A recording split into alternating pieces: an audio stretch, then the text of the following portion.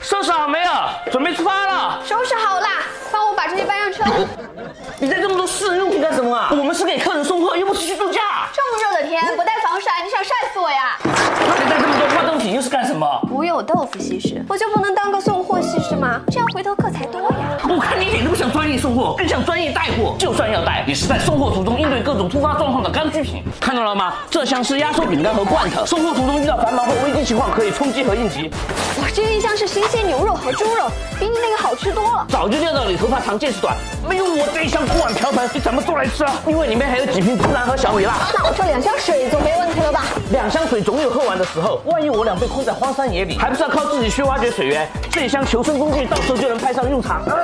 没过滤的水喝了不会拉肚子吗？所以这一项就是各种药品，其中就有止泻药，这个就叫做专业。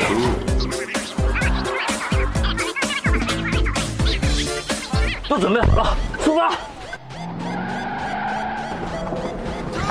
苗李叔对吧？我们先去把货箱打开，一会儿方便帮您搬货。我们是专业的。刚才被他太寒碜了，现在该怎么办？装不下客户的货，还不是都怪你？非要给我展示什么专业？我看你就是专业抬杠的。嘿，你反咬我一口！要不是你东施效颦，哪有这么多事啊？其实这件事情跟你无关。实在抱歉，你取消订单吧，违约金我们自己承担。不是，其实本来就没赚，现在还要交罚款，都怪你！你自己走回去吧，气死我了。哎，你 A 有什么办法？是他不讲道理，但我一看你就是讲道理的人，不准给我差评哦。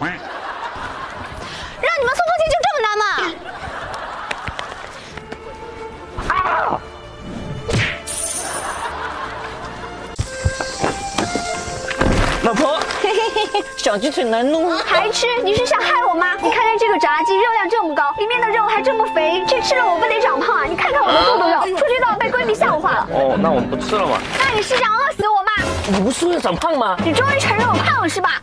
点娘们可不想好人的。我的意思是，苗条的人才会担心自己长胖，胖子才不会去多想呢。这还差不多，但是我还是想健身塑形哎。呃，那我们就来跑步燃脂吧。疯了吧你？顶着这么大太阳跑步，人倒是瘦下来了，那我皮肤不得晒黑了呀？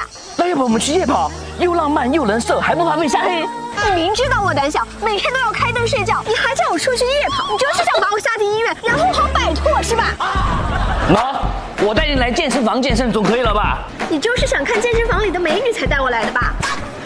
不不不不不不，你自己去健身，我一个人去送货，你负责貌美如花，我负责赚钱养家。又是这个每天来这儿不办卡不健身，专门来看美女觉得变态。那你无凭无证，别乱说话哈！哎，宝贝，我在这儿每天看他们健身，是想了解他们哪个教练教的最好，动作最标准，目的就是想给你请一位最好的私教。那你选择哪一位啊？哎呀，他们一副坐骑一样，通通不行，我们还是换一家吧。哎呀，我觉得那个就不错呀。哎呦，哇，美女，好眼光，居然选了个我们这儿最好最贵的。哦，贵，能有多贵？哎，也不贵嘛，也才两。成功刷卡两万，喂，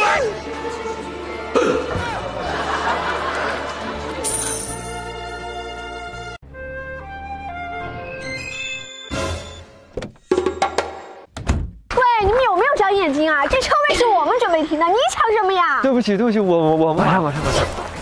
谁先到就去是谁的，要怪就只能怪你自己车技不行。你，老公，好好教训一下他们。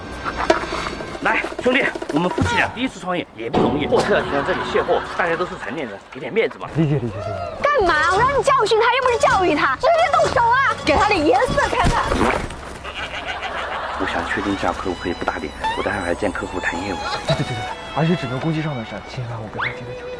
没问题。你磨叽什么呀？上啊！得罪了，你哟，是不是你老公怕了呀？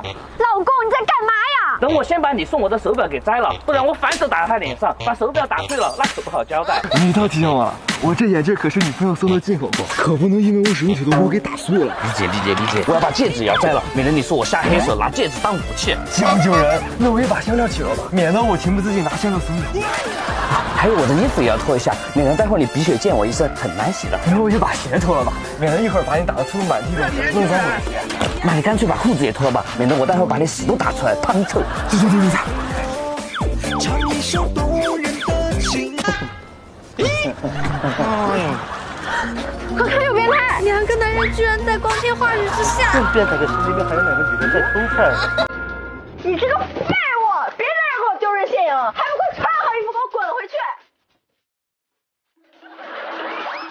嘿，老婆看到了吗？车位现在就是我们的了，这个就是自取。呸，还不赶快去把衣服穿好？收到。哎，我的手表呢？你看到我手表没有？不会是刚才那女的一并拿走了吧？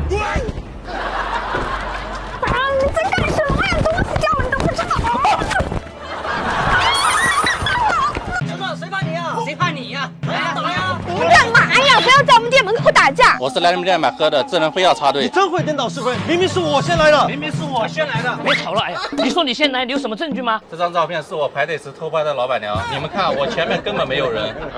看来确实是你先来，那你偷拍我老婆干嘛？立刻把照片删掉，不然我报警了。哦，来，要这样拍才好看。记得 P 过之后才能发社交平台哦。很明显是他先来的，你还有什么话要说？我觉得偷拍是种无耻的行为，不像我是自拍。自拍能证明什么？臭美就能插队吗？不，你们看，我身后根本没人，所以是我先来的。他身后确实没人，看来他是第一个来的。不对，你这照片上的衣服怎么和你今天穿的不一样？因为我昨天就来排队了。算你狠，老子不喝了。我有一个疑问，既然你说你昨天就来排队了，那你什么时候换的衣服啊？我是中途回去换的。大家都听到了，他中途走了，走了就不算了。你刚才不是也走了吗？算你狠。哼，我赢了。老板，来一杯 Mojito and Cappuccino。哦，实在抱歉，我们今天休息不营业。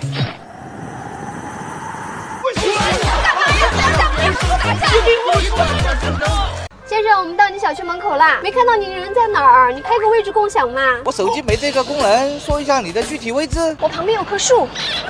你这报的什么点啊？我来给他报。喂，帅哥，你从你们小区门出来之后，直走五十米，然后再右转二十米，然后看到一个十字路口，右转三米就能看到我们的远程货车。好的，你稍等呢。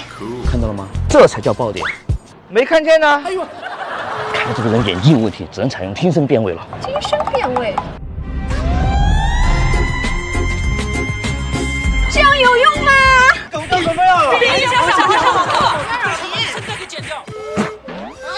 帅哥，刚才听到一段天籁之音了吗？完全没听见呢。